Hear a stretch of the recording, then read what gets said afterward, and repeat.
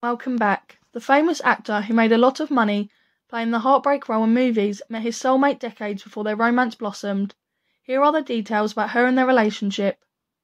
After Richard Gere's first two marriages fell through, the actor decided he would no longer dabble in heart affairs or have more kids until he met that remarkable woman. His decision was easy considering how busy he's been as an actor. Eventually Gere really realised he had finally found his soulmate and the third wife, but after they welcomed their second child, he realised time was no longer on his side. Here is everything about the actor and his relationships. Gere was first married to a supermodel named Cindy Crawford from 1991 to 1995. After that relationship ended, the handsome actor tied the knot with Carrie Lowell and she welcomed their son, Homer. The two who tied the knot in 2020 2002 enjoyed marital bliss for several years, but in 2013 they split up, and three years later the contentious divorce was finalised. Gere found love again in 2014 when he got reunited with Alessandra Silva and started dating. The couple tied the knot in a quiet ceremony in April 2018.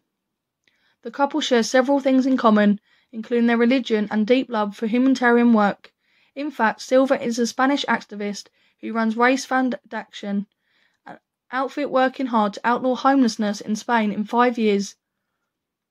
The socialite is very passionate about her work and has even admitted to sleeping on the street just to experience what the homeless feel. Given the huge age gap between Gere and Silva, some would expect there to be some friction, especially since he's a Hollywood star. However, Gere once revealed that because of their karmic energies and how well they blend together, all the problems that could have been threatened their relationship have disappeared to leave only their love burning bright as can be. He said he became a family friend, but when they met again, she had become a woman and he had been in search of his soulmate. Silva, who thinks the universe has been conspiring to keep her and Gere together, said they were immediately attracted to one another when they reunited. It didn't take long for them to figure out how right they fit, but they chose to keep everything under wraps until 2015, when they were pictured getting all lovey-dovey in Sicily, where they attended the Taormina Film Festival. They seemed to be very much in each other, and but it took years before they decided to commemorate their bond with a wedding ceremony.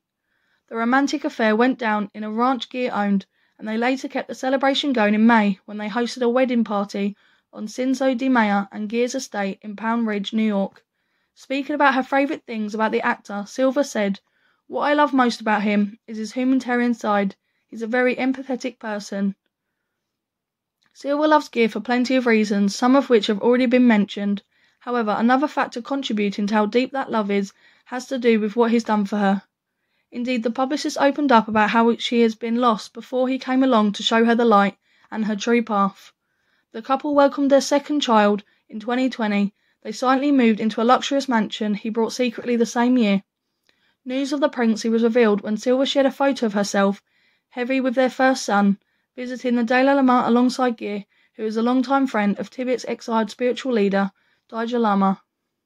The arrival of their second child was a cause for joy, but it also reminded Gere of how quickly his time is running out. Having had his second child at 70, the actor now 72 is concerned he may not live to see his kids grow up. When they had their first kid, he became aware of how difficult it would be to raise a young one, but that didn't stop him from making another baby with Silva, whom he promised at least 20 good years. Despite his age, Silva says he keeps her on her toes, and sometimes she finds it hard to keep up with him, so hopefully the talented man still has a couple of decades left to live. Thank you for listening. Please tell us your thoughts.